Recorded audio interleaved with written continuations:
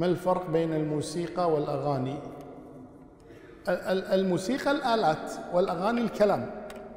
الموسيقى هي الآلات والأغاني هو, الكلام. والأغاني حسن وحسن وقبيح وقبيح. يعني بحسب الكلمات. إذا كانت الكلمات حسنة مقبولة وإذا كانت كلمات سيئة غير مقبولة. وأما الموسيقى فهي محرمة مطلقا سواء كانت حتى لو في يعني أغنية في ابتهال ديني على كلامهم يعني أو كذا ما تجوز. فالموسيقى شيء والأغاني شيء آخر.